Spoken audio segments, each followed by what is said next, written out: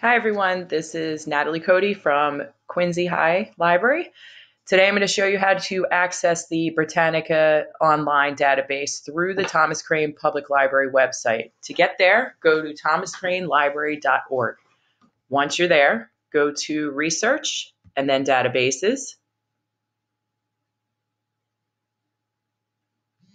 From here, you'll go to Encyclopedias.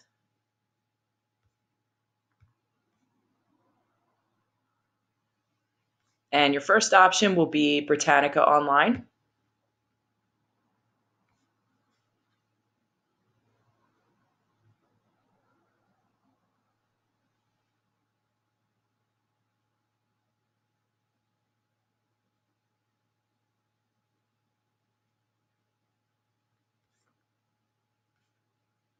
From here, you can pick a level.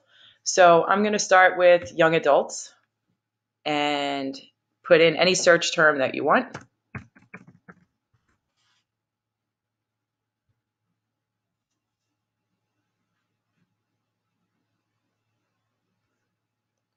From here, you get your articles. Now, this article that is shown is at a level two. And on the left, we have related resources for the article. You can either have other articles that are related to it,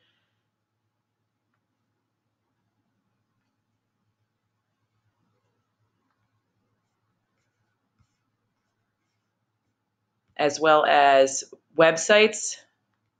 There's only one, but most of these will have a few, depending on whatever it is that you're searching. So back to the article.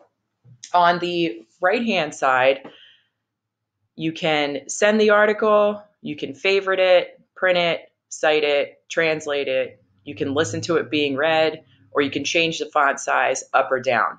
So if you want to send this, you can email it or you can add it to one of your Google Classrooms.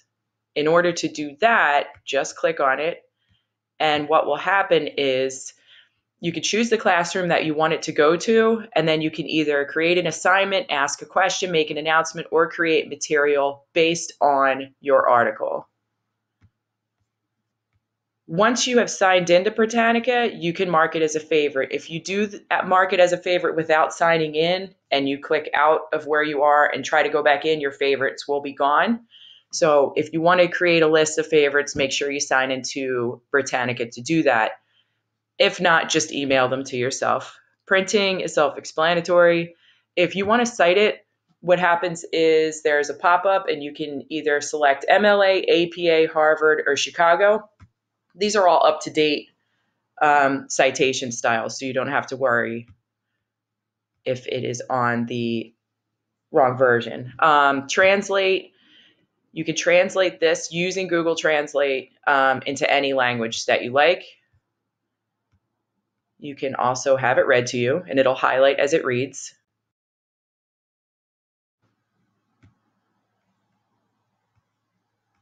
So that's about it for this website. Um, if you have any questions about using Britannica or any of the other databases, let your librarian know. You can contact any one of us at any time. Thanks.